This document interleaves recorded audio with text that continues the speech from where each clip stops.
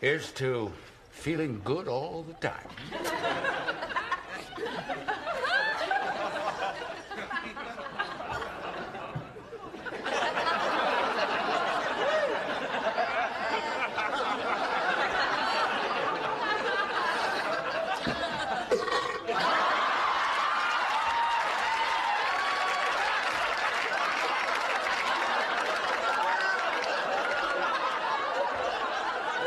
good beer, huh?